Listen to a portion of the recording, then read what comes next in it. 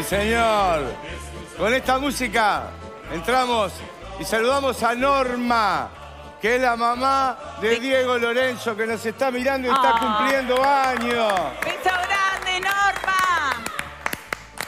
42 años, Norma está cumpliendo. ¡Qué jovencita!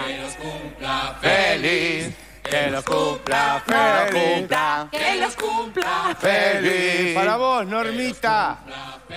Dieguito Qué Lorenzo acá, compañero, que siempre, eh, ustedes lo ven aquí, que es el amigo de Elsa, que siempre entra con Elsa y entra en la- Ah, mi- claro, Ajá. claro, me acuerdo de las actividades que Hace hace. tiempo que no, nos visita Elsa. Hace ¿Qué tiempo. será de la vida de Yo Elsa? extraño a Yandino. Será, ¿eh? ¿Qué será? Sí, Y no tendrá tiempo para escribir, capaz. Y no, y capaz que el muchacho no le deja tiempo. Viste que él hace escenografías, todo eso. Pero, nos debe seguir viendo, eso sí. Sí, claro. Sí, creo que sí. En seguro, sus, en ratos es. libres, sí. Capaz Sí, que se fue de veraneo con algún novio por ahí. Ah. No creo, ella está muy sola. Nah. Eh, bueno, sí, poneme la rusa ahí. Estados Unidos. Estados Unidos sigue sin creerle a Putin que no va a invadir. Claro. No le cree, ¿por qué no le cree vos? Te está diciendo que no va a invadir, no va a invadir. ¿No viste que Putin es lo más grande que hay? Tiene no sé cuántas tropas, movilizó todo lo que había en Rusia, todos los tanques, los misiles, los cosos, los cohetes, para arriba, para abajo. No, pero yo no voy a invadir. Ah, no, ¿y por qué piensan eso? Porque él es del interior. igual, uno Él sabe es del- ahí hablando con Putin. él es del interior de Rusia. Lo más grande que Por hay. eso sí. Este, es la parte de allá de- del norte, muchacho. Dice, pero eh, se está movilizando todo. Eso lo dicen ustedes.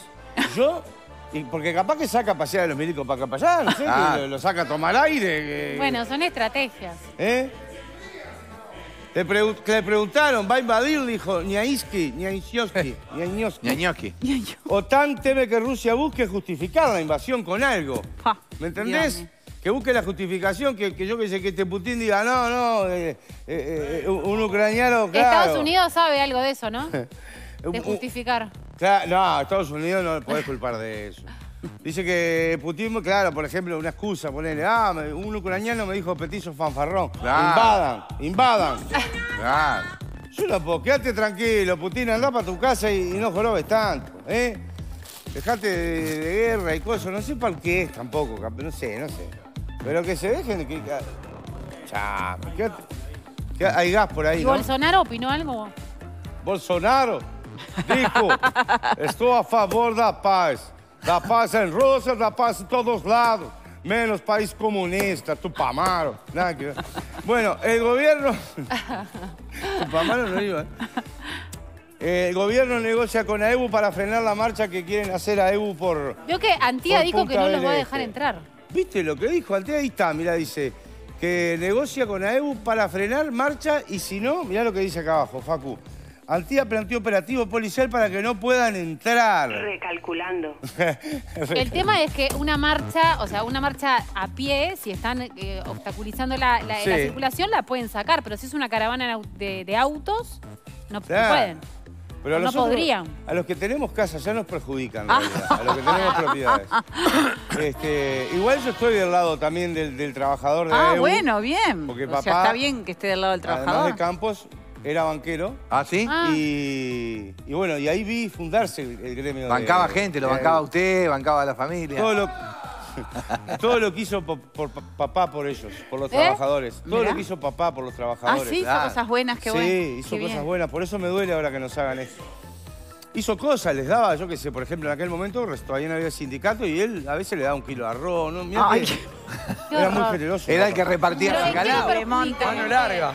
¿Cómo? ¿En qué lo perjudica usted en su casa, Punta Me del Este? perjudica, porque yo tengo propiedades y van ahí todos mal vestidos, yo qué sé, quizás con barba. Y, y el turista que me viene a alquilar mi casa, yo qué sé, una quincena, 20, 30 mil dólares, no le gusta, no le gusta. Una quincena, 20, 30 mil, ¿está, está pagando bien? Sí, y la bajé este año por la pandemia. Ah. Ah, menos mal. Este, así que Antía, eh, claro, el sindicato de, de AEU, viste que los sindicatos son simpáticos muchas veces, ¿no? Por ejemplo, la otra vez la medida que agarraron en Punta del Este ahí fue no rellenar los cajeros. Entonces está todo el mundo con una calentura, ponele, Claro. que, no- que te dejan re caliente. si se- Eso perjudica la- al que anda todo el día. Entonces la Al gente... que no tiene la culpa. Exacto. Y acá con la marcha, no sé, entonces, este, está. Eso, a veces el plan de lucha de los sindicatos se lo hace el, el enemigo, se lo hace. Este, pero Artigas planteó operativo policial para que no puedan entrar. ¿Pero qué te compraste el departamento, amigo? ¿Cómo que no puedan entrar? Piense que, que es una isla del coso. Bueno, CAFO dividida por acto del sí en el centenario. Oh, esto Otra también. cosa más. Mirá que Ay, somos un chaquete- tatita. cataplines los uruguayos, loco. Oh. Te voy a alquilar el estadio porque quiero hacer un acto del sí. No, no, porque no, porque política, no Pero sé ya qué. no, no, después dijeron que decidieron sí. que Y sí. después Hubo marcha dijeron atrás. que lo iban Al a principio rever. fue no y después sí. Y ahora siguen dando vueltas. Déjame analizar, dice, ve Lo que Lombardo. pasa es que internamente hay diferencias. Claro, Ricardo Lombardo dice, es un tema muy complejo, hay muchos factores. Pará, le alquilás el estadio Pará, si vos o decirle es- que no. Pero aparte, Se si se acabó lo el alquilan recreo. y Se se, lo el alquilan tanto al sí como al no, Claro, se lo alquilás, pero claro, no quiere decir que él no vaya a hacer un acto, no, no se sabe. claro. Este, bueno, eh, hacen bien en no dárselo. Al final, Montelongo, ¿lo contrataron para ser el moderador del debate o no? No, no me No, han hablado con el todavía. número. Pero estoy a tiempo, eh, Gerardo es un amigo y... ¿Eh? Gerardo, Pero Sotelo que tiene que ver. yo no dije apellidos, ¿eh? Lo dijiste tú. Yo solo dije, Gerardo. Es en Florida, Cata. Haceme muñeca ahí. ¿Está todo cocinado? Está todo. Está todo cocinado. Justo Cata está todo cocinado. Lo hace Carlito Dodera. Británico recibe en el correo su dentadura que perdió en España hacía 11 años. Qué raro. Una mordidita. Mordidita. Mire, mire, mire lo que es esto. Bien, Facu. Lo mejor Pero- que has hecho. Esto, esto en 20 años de trabajo acá en este canal. Pero explicó cómo la perdió la dentadura, Monte. Quiero Eh, escuchar sí. esa historia, a ver. Paul Bishop se llama el tipo. Mirá. Un inglés de 63 años. En el 2011, mientras vacacionaba en España, Sí. extravió sus lentes luego de embriagarse, lógico. Claro, y ese es un de, tema. vol- de vomitar Ah. en Benidorm. 11 años después, su dentadura le llegó por correo. Qué loco. Más o menos lo que te demora mandar una carta de acá, el correo acá. 11 años después su dentadura le llegó al correo. Las autoridades españolas lograron recuperarla y dar con el rastro de Bishop a través de su ADN. Ah, por Dios. La policía cosa. británica. Eso a, a través de su ADN que había suministrado a la policía británica hacía 15 años. ¿Qué? Lo tiró y la policía, igual que acá eso del ADN. Vas a la octava ahí y le decís, no me tomás el ADN, le... para Te que... desvalijan la casa y decís, che, van a sacar las huellas, te quedas mirando como diciendo, ¿la huella de qué? Mientras, mientras Milico anota en el cuadernito, ¿te acordás que anotaba- sacaban un cuaderno? Ahora creo que hay computadora ya. Estamos Una tablet. Y viste que anotaba con un lápiz, con una letra, pero de la escuela, así. Tres horas poner, decías. Montelo. Ta, ta, no hago denuncia, no hago denuncia, no, no, ja, ja, está bien así. Claro. Eh, bueno, está, así que le- el, el tipo recibió su dentadura y viste cómo la reconoció que era la de él. ¿Cómo? Porque en el medio de una muela dijo tiene un pedazo de arveja y yo estaba comiendo Ah, babrú. qué asco. justo. Ay, no, no. qué asco. Mira si se va a acordar lo que hacía hace 11 años. ¿Cómo no te vas? Yo me acuerdo todo lo que comía Claro. hace 11 años. Y más si estoy en Benidorm. ¿En dónde? En Benidorm. Ah, Ah, Estuvimos con nietos en Benidorm. estuvimos. La fiesta del ventilador fue ahí. Y recuerdo que cuando era de noche ya te dije, vos seguías agitando y yo te dije, Coco, vení, dorm. bueno, eh, si fuéramos argentinos, argentinos, Claro, argentinos es estamos. La sacó Qué de la bien que son, están de gira, hagan. qué Ah. rápidos, claro. Rusia, poné la rusa de nuevo, poné la rusa de nuevo. What? Rusia. Guardia de seguridad. Un guardia de seguridad La tiene con los vandaliza- rusos esta semana. La estoy con, lo- con los rusos. Sí. La- un guardia de seguridad vandaliza un cuadro en su primer día de trabajo en un museo. ¿Cómo? No. Salía un palo, dos palos verdes de cuadro. Ay, no puedo creer. ¿Están? El hom- lo contrataron, el guardia de seguridad se quedó de noche. Se aburrió. El hombre dibujó unos ojos sobre la obra de arte. Ay, no. Las tres figuras. valorada en 2 millones de dólares. Ay, qué animalada. Titulada Las tres figuras, mirá, ahí está. Intitulada. Titulada Las tres figuras, la obra. Ay, no porque puedo justo, creer. ¿qué pasaba? Esa obra era parte de... ¿Ves? Ahí está la obra. Era parte de una cosa que se llamaba Las tres figuras. En esta obra de los años 1930 Ah. representa personajes sin rostro, sobre dos de los cuales Ay, el no. guardia dibujó unos ojos con bolígrafo. Ay, no, no bueno. puedo creer. No puede más. Esos pintores que, ay, que soy un artista, no le hago ojos, así ¿Quién no se va a dibujo bien. Ay, qué locura. Claro. Aumentó el valor si ni ojo tenía. Es una Claro. porquería al final. Puse la impronta. Encima que el hombre va a dar una mano, venís y... Los del museo queda- Encima que, quedaron terminó, de cara. que ter- Excelente. Excelente. Excelente. A mí me, bueno. encanta cuando la gente hace chistes y empieza a reír antes de Sí, terminar. es lo mejor. Porque ya si los otros no se ríen, por lo menos ya te reíste. Y el otro se ríe de que vos te reíste, así que... Los que valoramos el arte, valoramos que se haga el chiste. No que importa se si haga, es bueno o que se haga, que salga el que humor. se haga. Que se haga el humor. Habían incluso grandes cupleteros y humoristas también que antes del chiste hacían como una risita que te contagiaba. La, la, la, la, la. Y Entonces, eh, es un recurso. Después Claro. que ya te das cuenta que se ríen todas, ya no te da gracia. pero- Y son todas Porque después lo buenas. empezás a hacer a propósito porque sabés que salvás el chiste.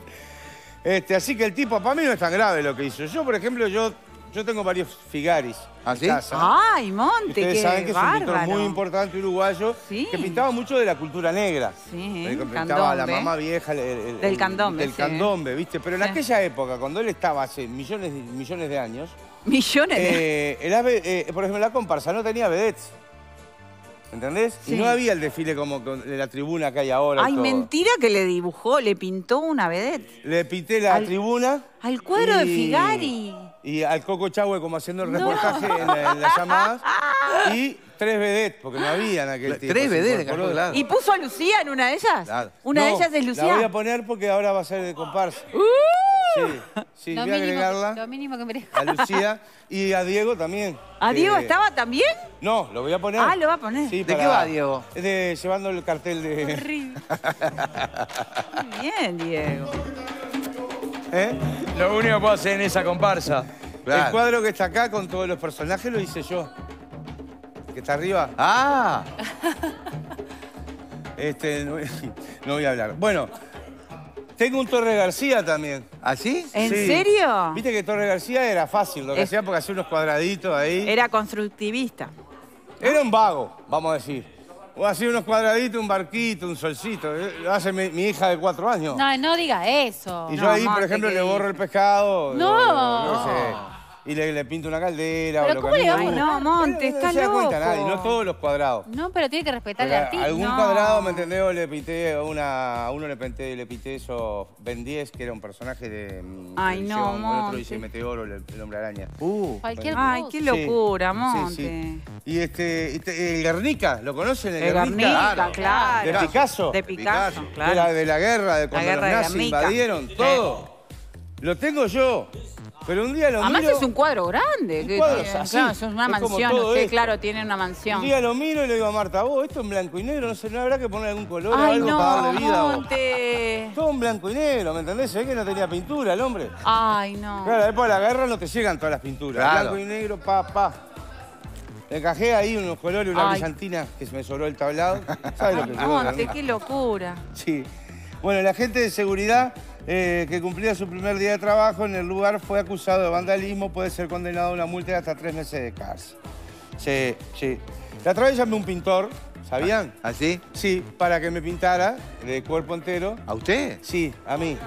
Al final no alcanzó el material, pero hicimos. Igual le digo, bueno, pintame todo de azul, le digo. ¿Ah, sí? Todo de azul. ¿Y pero por qué? Era un no querés avatar. no querés que te. No, pintame a mí de azul, echame la pintura. Me dice, ¿para qué? Porque Marta se fue y quiero estar a su lado. Toqué techo, me voy porque toqué techo. No, no, Toqué no, techo. no, no puedo creer. Qué mimoso, qué tierno que es, ¿viste? Es re